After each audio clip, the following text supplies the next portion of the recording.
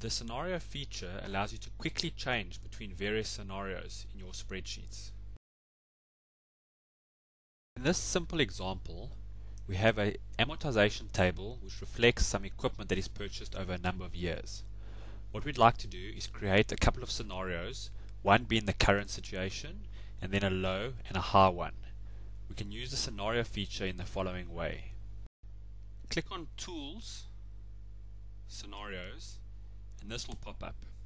As you can see there are no scenarios defined so we need to add one and we'll give it the name current.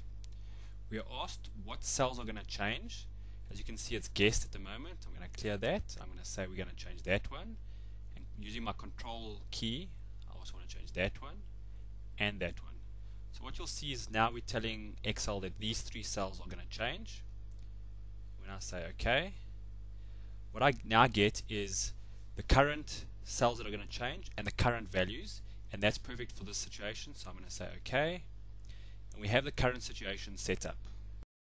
Now we're going to enter the low case. I'll say add again, give it a name, in this case low. Same cells are changing, so OK. In this case now I want my low scenario to be 80,000. Number of years will stay at 5. The interest will be 0.13 say okay.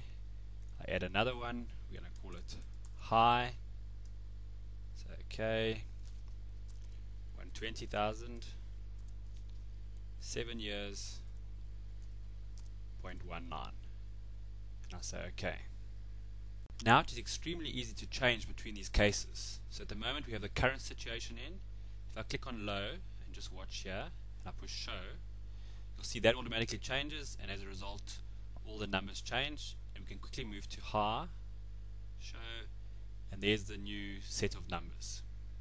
Once you have the scenario set up you may not want to have this open all the time so you can close it. And if you go to view toolbars customize under the commands we go to tools.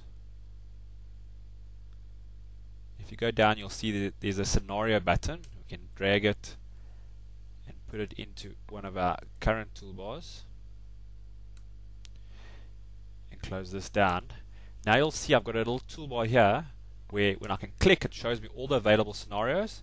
When I switch it on you'll see it changes to the relevant scenario. The useful function of the scenario feature is the ability to summarize the results. So if we've set up our scenarios, we can go to Tools, Scenarios, and at the bottom you'll see a summary button. And if we push it it asks us what report type we want. And in this case we'll have a scenario summary. And it tells us asks us what the result cell needs to be.